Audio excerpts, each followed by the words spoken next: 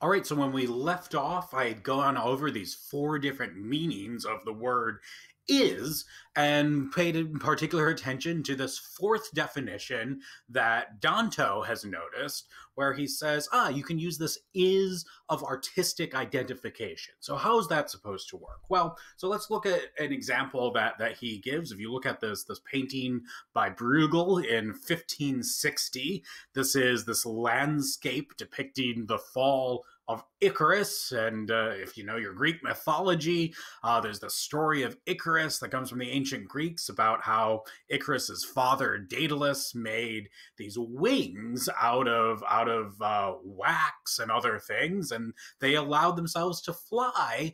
Uh, and Daedalus told Icarus, "Well, just be careful when we're flying here. Don't go too high, because then you'll get too close to the sun.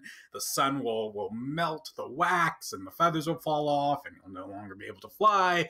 And Icarus got too confident, went too high, the wax melted off, and he fell down into the sea. And so this is depicting the fall of Icarus. And you can see, ah, right there, that is Icarus, right down here in the lower right corner. In fact, you could say, yeah, look, this little, this dab of, of paint down here, that is Icarus.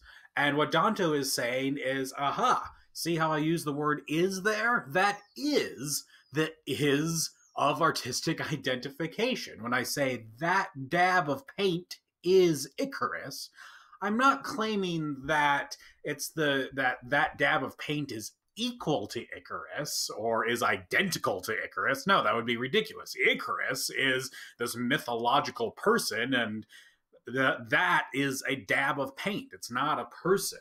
Uh, I'm not using the is of predication. I'm not saying that this dab of paint has the property of being Icarus. No, I'm saying something more. I'm saying, look, you can identify artistically this dab of paint with Icarus. So I'm using the is of art of artistic identification.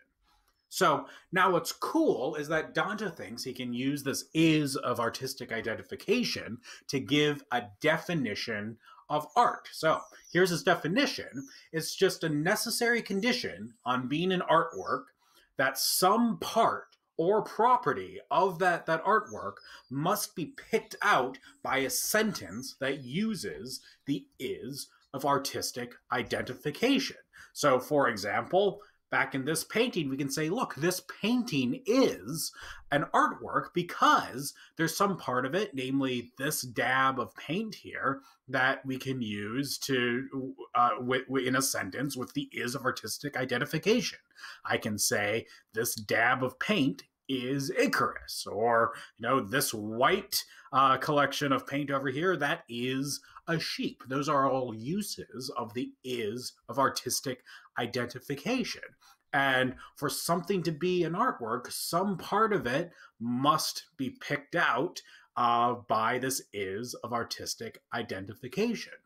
And so, if this is a necessary condition on what it takes to be a work of art, now we have a way of solving that problem we started out with, where how where we were asking how can you separate beds that are artworks from beds that are not artworks? Well, you can see here with these paintings of beds, you can say, well, look, some part of these uh, is characterized by the is of artistic identification. This uh, stretch of paint over here is a pillow this bit of, of, of black paint over here is part of the headboard. I'm using the is of artistic identification there. Uh, we can do the same thing with Van Gogh's painting of a bed. The, these yellow bits of paint are part of the footboard. I'm using the R of artistic identification there. Uh, you can do the same thing with Robert Rauschenberg's bed, though. This up here is a pillow. I'm not using the is of predication there or the is of existence. I'm using the is of artistic identification, according to Danto. So even though this thing here is a pillow in the sense of predication, it's got this property of being a pillow, it also is a pillow in the sense of artistic identification. Same thing with Robert Rauschenberg.